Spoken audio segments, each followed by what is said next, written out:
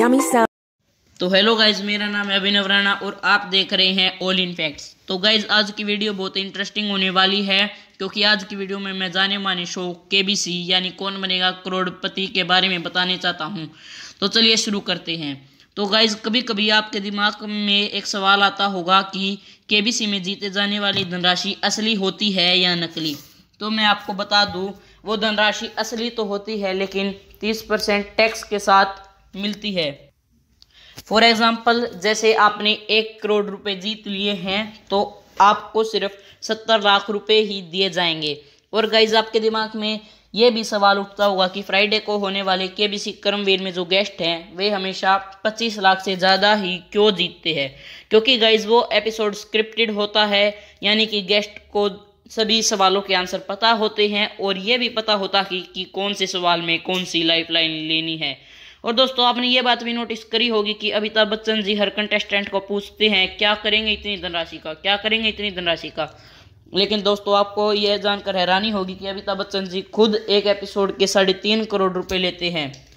और दोस्तों, अभी तो और दोस्तों, अभी तो खैर एबीसी में ऑडियंस नहीं आती है, और लेकिन जब ऑडियंस आती थी तो उन्हें खास टिप्स दी जाती थी।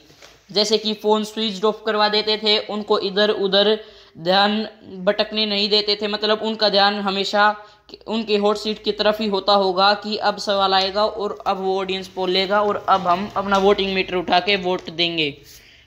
और दोस्तों, आपको ये जानकर भी हैरानी होगी कि अमिताभ बच्चन जो कंटेस्टेंट को जो चेक देते हैं, वो चेक नकली होता है।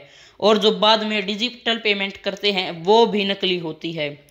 वो डिजिटल पेमेंट सिर्फ़ और सिर्फ़ आईडीएफसी बैंक की प्रमोशन के लिए होती है। कंटेस्टेंट को उनकी धनराशि बाद में टैक्स काट के दी जाती है।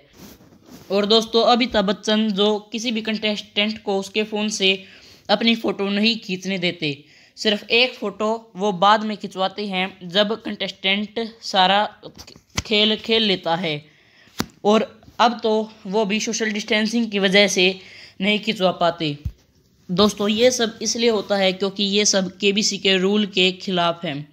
और अमिताभ बच्चन जी बैक स्टेज पे सभी दस कंटेस्टेंट के साथ एक ग्रुप फ़ोटो खिंचवाते हैं। दोस्तों कंटेस्टेंट जब फास्टेस्ट फिंगर्स फ़र्स्ट खेल जीत कर जब हॉट सीट पे आते हैं और जब अमिताभ बच्चन जी उनकी वीडियो बड़ी स्क्रीन पे दिखाते हैं तो आपके दिमाग में भी आता होगा कि क्या वो वीडियो असली है, क्या वो वीडियो नकली है। तो दोस्तों, हम आपको बता दें, वे वीडियो आधी नकली होती हैं और आधी असली होती हैं।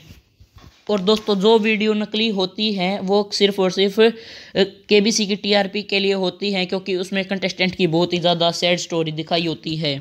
तो दोस्तों, आज की वीडियो में बस इतना ही। अगर आपको ये वीडियो अच्छी लगी हो तो इसको like subscribe oh sorry like video को ज़रूर लाइक कीजिए और कमेंट बॉक्स में ज़रूर लिख के बताइए ये वीडियो आपको कैसी लगी। और दोस्तों, आज यूट्यूब पे मैंने अपना डेब्यू करा है। मतलब आज मेरी पहली वीडियो है तो चैनल को